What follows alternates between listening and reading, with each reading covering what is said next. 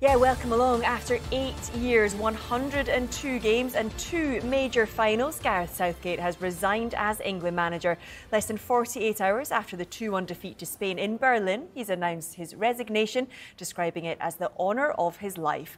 Well, this is how the news was announced. Uh, right on 11 o'clock from England's X account, they said this after 102 games and almost eight years in charge, Gareth Southgate has announced he is to leave his role as manager of the Three Lions. Well, let's remind viewers who are just joining us of what Southgate has had to say. He said, As a proud Englishman, it has been the honour of my life to play for England and to manage England. It has meant everything to me and I have given it my all. But it's time for change and for a new chapter. Sunday's final in Berlin against Spain was my final game as England manager. I joined the FA in 2011, determined to improve English football. In that time, including eight years as England men's manager, I've been supported by some brilliant people who have my heartfelt thanks. I could not have had anyone better alongside me than Steve Holland. He is one of the most talented coaches of his generation and has been immense. I've had the privilege of leading a large group of players in 102 games. Every one of them has been proud to wear the three lions on their shirts, and they've been a credit to their country in so many ways. The squad we took to Germany is full of exciting young talent and they can win the trophy we all dream of. I am so proud of them and I hope we get behind the players and the team at St George's Park and the FA who strive every day to improve English football and understand the power football has to drive positive change. My special thanks go to the backroom staff who have provided the players and me with unstinting support over the last eight years.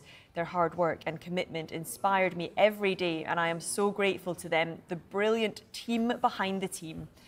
We have the best fans in the world, and their support has meant the world to me. I'm an England fan, and I always will be. I look forward to watching and celebrating as the players go on to create more special memories and to connect and inspire the nation as we know they can. Thank you, England, for everything. Well, Southgate and the team left their hotel in Berlin yesterday before landing back at Stansted Airport. Sunday night's defeat to Spain proves to be his final game in charge. Well, here is his all time record 102 games in charge with 61 wins. His team scored 213 goals and conceded 72. It's a win rate of nearly 60%. Well, Southgate leaves having taken charge of the third most games of any England manager, only behind Sir Walter Winterbottom and World Cup winning manager Sir Alf Ramsey. He's the only man to lead them to two major finals and the only man to lead them to a major final on foreign soil. Well, senior reporter Rob Dorsett and chief reporter Kaveh Solhekol have joined me now, uh, both uh, fresh off the plane from Germany, following England during this tournament. And um, Kaveh, let's start with you. What is just your initial reaction to this news?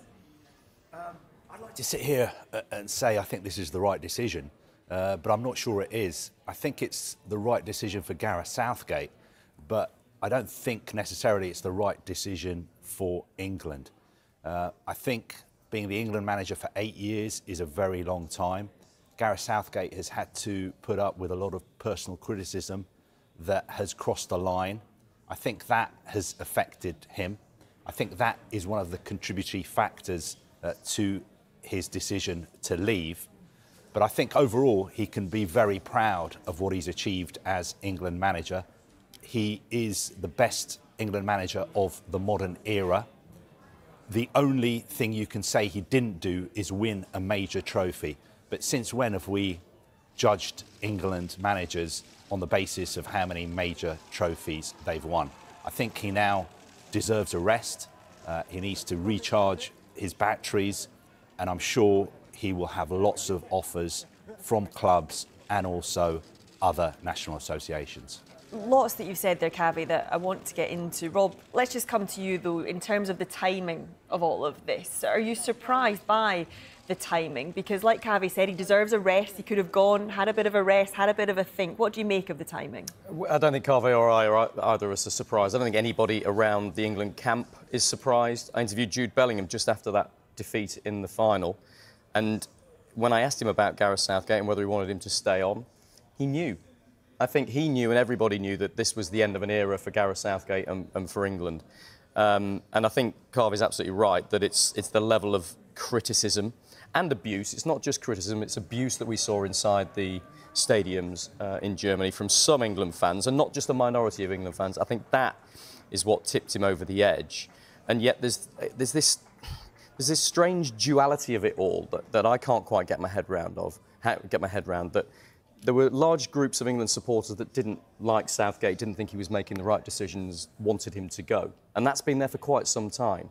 And yet he is absolutely loved by the players, by the staff, by everybody at the FA, who think he's changed, not just changed the culture, but completely changed the environment. You have to remember that when Gareth Southgate took over as England manager, before that there were a lot of England, a lot of players who were qualified for England who, who didn't want to be there in the Sir Alex Ferguson era at Manchester United, the Arsene Wenger era at Arsenal, a lot of those big players thought it was much more important to win trophies with their clubs than it was for their country. It was only since Gareth Southgate came in uh, and changed that environment that players wanted to play for England again, wanted to win a trophy with England again, came very close to winning a trophy with England. I mean, you look at his record, it is extraordinary. Um, the semi-finals of the, the World Cup in Russia, the quarter-finals of the World Cup in Qatar, and two successive European Championship finals. Yes, there's no trophy, but that record is, is unsurpassed. That's, that's in many ways better over a four tournament spell than even Sir Alf Ramsey, who won the World Cup in 66, could manage. It's, we hadn't seen that level of success before. So there's this strange split between large groups of England supporters who wanted him out, didn't think his tactics were right, and people within the camp, the players, the FA staff, that desperately wanted him to stay. And you look at that record there, and, and that will be his legacy. Yes, his legacy be, will be that we went another generation without winning a major trophy. But boy, we got very, very close under that man, didn't we? Yeah, and I mean, looking at that record, talking about that duality of how people are feeling as well, because I know people calling for him to go, but those same people feeling quite sad about this as well because of what he's done. I just wanted to pick up on the criticism a little bit with you, Kaveh, because obviously you used the word abuse there, Rob. There was that beer throwing incident at the end of the Slovenia game as well. Do you think that was the kind of turning point maybe for Gareth Southgate where he realised that it actually goes beyond criticism? I think he'd decided that he was going to go um, before this tournament started. He gave an interview before the tournament. I think he said, uh, you know, unless uh, we win the Euros, uh, it's likely that I'm going to leave my position as England manager.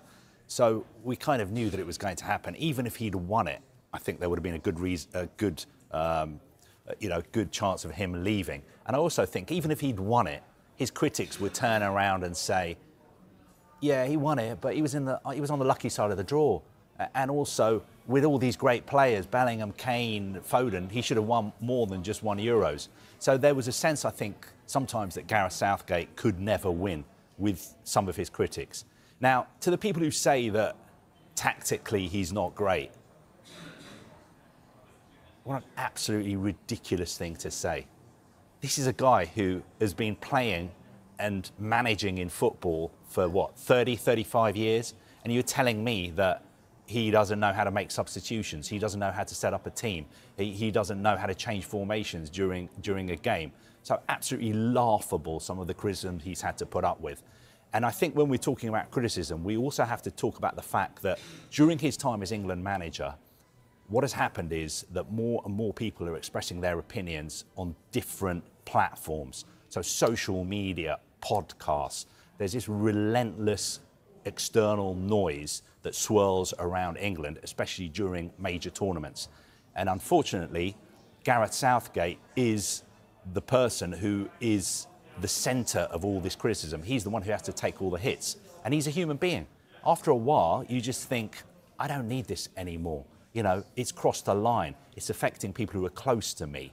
Yes, I love England yes, it's been the honour of my life to be the England manager for eight years. But you know what? I can have a holiday and then I can go get another job. And the next job I get, I'll probably be paid a lot more. And also, I won't have to put up with this level of constant criticism that I've had to put up with over the last couple of months Joe, and one, years. One other point I'm making in relation to that is we're talking, you're talking about Gareth Southgate's tactical nous there. I think we have to pay a little bit of a tribute here to Steve Holland, his assistant, because yes, Southgate is the figurehead, but Steve Holland came as part of the package. they were very much a coaching duo. Um, the tactics that they used, the players they selected, the atmosphere they created in camp was as much a part of Steve Holland's job as it was Gareth Southgate's. And Southgate relied very, very heavily on Steve Holland. Um, and so when we're talking about Southgate leaving, I think it will be a fundamental, not just the end of an era, but a changing of the guard. Because a lot of the backroom staff, a lot of the medics, a lot of the physios, the kit man, all of these people have been around this England squad because of Gareth Southgate, because they've enjoyed it, because they wanted to be part of his team. And so it'll be interesting to see what happens over the coming days and weeks about changes behind the scenes as well. Um, and you just wonder about the fact that Mark Bullingham said interim coach is a possibility. Could it be Steve Holland? We're talking about Lee Carsley, the under 21s manager. Could Steve Holland step up and be caretaker manager? It would be a seamless transition for a while while the FA do their due diligence in, in appointing the next manager. Just a yeah. thought.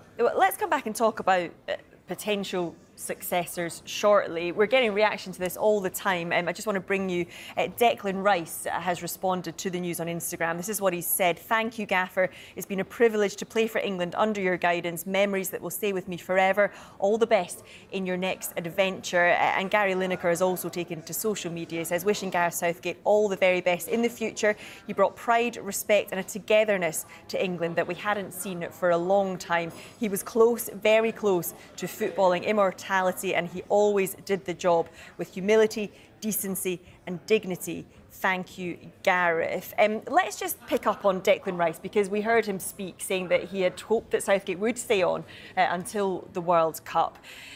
He really had an absolutely brilliant relationship with the players, it seems. He really developed something special between a manager and a set of players. How special was that, Kaveh? Because it's something that we don't always see between managers and players. Uh, no, I mean, before Gareth Southgate came along, um, for long periods of time, there were cliques within England squads. So the Manchester United players would sit on their own, the Liverpool players would sit on their own, the Chelsea players would sit on their own. Uh, and we heard a couple of days ago from Rio Ferdinand, and he used to say that when he was at West Ham, he was very good friends with Frank Lampard. But when they uh, went to other clubs, Chelsea and Manchester United, and met up for England duty. They didn't like talking to each other because Rio Ferdinand felt that he didn't want to give anything away about what was going on at United to Frank Lampard. And it was the same for Lampard. He didn't want to give anything away from what was happening at Chelsea. Rio Ferdinand didn't really like talking to Steven Gerrard because Liverpool and Manchester United are such big rivals. Well, that all changed. That culture changed under Gareth Southgate. We also had the situation in the past where players didn't want to play for England, where they would be called up to England squads and they would say to their manager at their club, can you please ring up the FA and say I've got a hamstring injury because I don't want to go and spend two, three weeks uh, with the England squad. So that has all changed. He's created a club atmosphere. He's totally changed the culture uh, of the England team. And it's all basically been down to Gareth Southgate. And I think we will miss him when he's gone. And I would not rule out the possibility, I'm not sure if I said say this, but I wouldn't rule out the possibility of him coming back one day. Because if things go wrong, if things go wrong and we go back to the way it used to be before Gareth Southgate, I remember when England didn't qualify for tournaments, when England got knocked out at group stages, when they kept getting knocked out in the uh, round of 16 there will be a clamour bring back Gareth. Where it, well, he'll be Sir Gareth by then as well. Bring back Sir Gareth. We need a knight to sort out this mess. I've written it down, Kaveh. 12.14 on the 16th of July. Southgate will be back. I said um, it first. Yep, absolutely. um, Rob, let's just go back in time a little bit because as Kaveh was mentioning there, you've got to think back to 2016 and the state of this England national side when Southgate took over do some fans almost need to be reminded a little bit of how far they've come in that time? And actually, when you look to the future, you've got to think, good luck to the next man in charge. Absolutely. yeah, that's absolutely correct. It, it, it, has been unprecedented success. And yet he didn't win a trophy, which Sir Alf Ramsey managed in 1966. And that was, let's be honest, the professed aim of the FA and the, the, the, mission statement when they set up St George's Park, the National Football Centre, the, the Centre of Excellence, was to win trophies. Now, the Lionesses have managed it. Many of England's younger age groups have managed it, which absolutely vindicates St George's Park and the system that England have spent a huge amount of money and a huge amount of, of time and logistics planning and setting up. St George's Park is the envy of the world in terms of how they bring through young talent and develop talent. And yet the men's team hasn't been able to win a trophy. And that precious atmosphere that Kaveh was talking about needs to be protected. But if I'm honest, I think I've seen one or two cracks in that in recent times. There have been a number of players who've withdrawn from the squad at various times when there were friendlies, when there were Nations League games, games that they felt weren't so important, with a minor injury, and then they played for their club at the weekend. And Gareth Southgate was angered by that, and he felt that that was damaging potentially the culture. He only wanted England players there who wanted to be there. And so are, every time we talk about team selection and squad selections for England, there's been a number of players that Gareth Southgate, we've had to answer questions about why, that, why are they not included? Why are they not there? Now, I'm, I'm making absolutely no suggestion here that those players weren't injured. They absolutely were. But Gareth Southgate wanted players that wanted to be there that would run through a brick wall for him. And i I'll just take you to something that Jude Bellingham said to me in that final interview that I did with him, the only England player to speak to us in, in post match after that defeat in the final. And I get the sense that some of the big players felt it was time. That it was time for Gareth Southgate to move on. On the, just around the hour mark in that final, if you watch it back, I don't know if it was obvious on the TV pictures, but it was obvious to myself and Kaveh. Jude Bellingham was berating the England manager on the touchline, telling him to change the tactics. He was standing to him as close as I am to you. And Gareth Southgate went away quietly, respectfully, and spoke to Steve Holland about what they do next. I just get the sense that that perfect atmosphere, there were just some cracks beginning to show. And maybe that was a crucial part in Gareth Southgate's decision as well, because that was sacrosanct. That's the one thing he'd always had. If he couldn't maintain that atmosphere, if players didn't want to be playing for England again, if some of the elite players weren't quite on board with his messaging, I think that's when he thought it was time to go. We are going to talk loads more about this. There's loads more to get into, including successors. But just for now, how will Southgate be remembered? I mean, you said Sir Gareth Kaveh. What will his legacy be? I think he'll be. Um, he'll go down in history as the greatest England manager of the modern era, the best England manager since Sir Alf Ramsey. If it wasn't for a penalty shootout uh, at Wembley, England would have won the Euros. Uh, I think we will definitely miss him. Um, I wish him all the best. He's been an absolute uh, pleasure to deal with. People don't understand that, you know, being the England manager as well is you're an ambassador for English football all around the world.